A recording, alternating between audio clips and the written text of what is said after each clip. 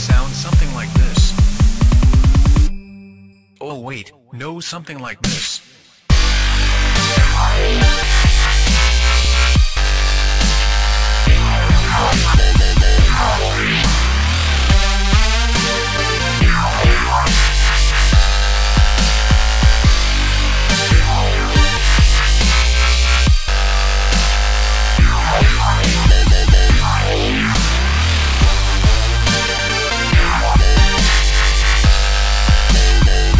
A beatdown section, why not try messing with double time.